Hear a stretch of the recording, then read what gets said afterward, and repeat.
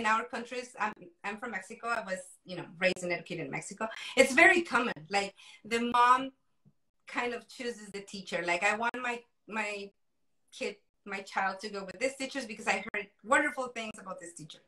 Here it's different. The system is very different. However, um, I try to kind of did that principle to apply that principle that I learned in Mexico with trying to match my daughter's personality with the teachers, you know, that they were um, that they had for that grade in preschool. And I was brave enough to have this conversation with the principal and say, I know my daughter was assigned to this classroom, but I, I was reading the bias of all the other teachers, and I kind of feel like my daughter will thrive better in so and so, you know, classroom.